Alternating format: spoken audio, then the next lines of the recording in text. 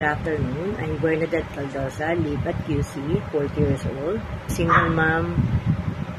I hope you give me a chance and I'm so and I'm and I'm so very kind to other people and thank you so much and God bless you.